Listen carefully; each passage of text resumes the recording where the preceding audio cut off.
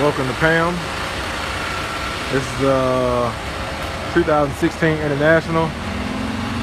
Um, you can get a glimpse of it.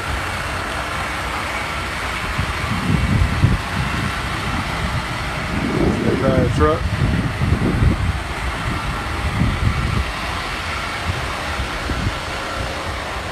You know it's mine because I'm from St. Louis and there's a Cardinals logo on the side of it.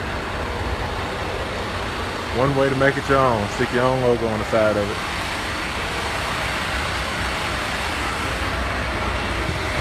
It's a little bit dirty right now.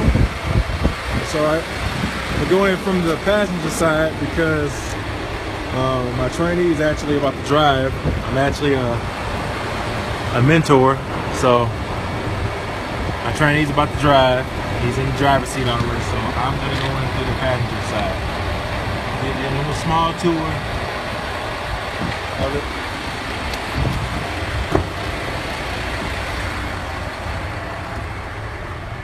Trash bag, homemade trash bag.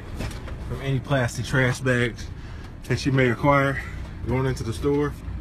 Extra vest, uh, storage space, in case storage space is needed extra trash bags, a hard hat for locations that require a hard hat, trainee working on nothing. Um, top bunkers for the trainees. Uh, stuff usually goes into the corner when he goes to sleep. The trainer's bunk is always the cleanest supposed supposed to be, which mine is pretty clean. It's just a sleeping bag, refrigerator, just in case. Small, nice and compact.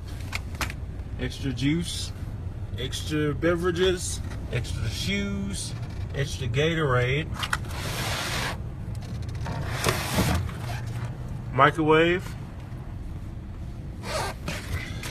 Comes with a power inverter if you can see that. If not, I'll just show it to you here. Power inverter back there. Extra bottles of water. Clorox for when I wash. Storage space. Extra things in there. Dirty clothes bag. Extra bag of essentials. More storage space. More storage space. Um, cleaning pantry, where cleaning supplies are. Extra little things that I may need. Food supplies. More food supplies. Tissue. Extra jackets. Cologne if I want to smell good. Extra storage space up there. Curtains, if you want to close the curtains. Uh, CB radio.